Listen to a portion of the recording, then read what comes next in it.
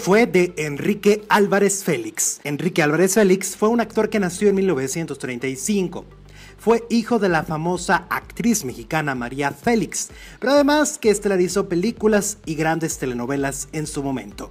Enrique era el hijo de la actriz de cine mexicano María Félix y de su primer esposo, Enrique Álvarez Alatorre, agente vendedor viajero, ingeniero y fabricante de zapatos. Él estudió en colegios militares de Canadá, Estados Unidos y Francia. Se graduó con honores de ciencias políticas en la Universidad Nacional Autónoma de México y estudió para diplomático pero a los 30 años decidió que su vocación estaba en la actuación.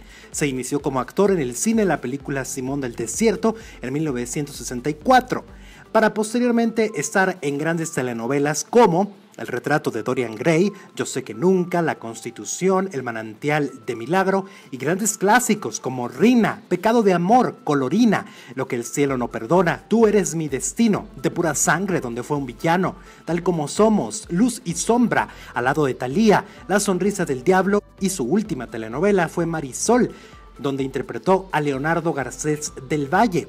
Era un hombre encantador que se le enfrentó a Televisa cuando para obedecer la consigna de Miguel de la Madrid, renovación moral de la sociedad, declararon que correrían a todos los homosexuales. Enrique y Carlos Pillar respondieron dejando plantadas sendas telenovelas. Carlos se dedicó a la escultura y la pintura. Enrique produjo y protagonizó Bent, una obra sobre la homosexualidad en los campos de concentración nazi. Fue un acto de valor y combativo y además sorprendió a muchos como actor. Su madre no le perdonaba que fuera homosexual, al igual que su padre, quienes lo rechazaron constantemente. Su gran interpretación y carisma en Los Caifanes al lado de Julissa y Eduardo López Rojas fue una de las más sobresalientes. Además, se dice que Enrique y Marlon Brando compartieron los amores de un actor francés. Enrique Álvarez Félix falleció el 24 de mayo de 1996 de un ataque al corazón en México a los 62 años de edad.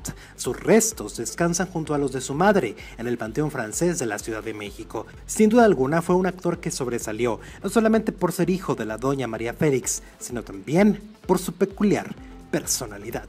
¿Tú lo recuerdas?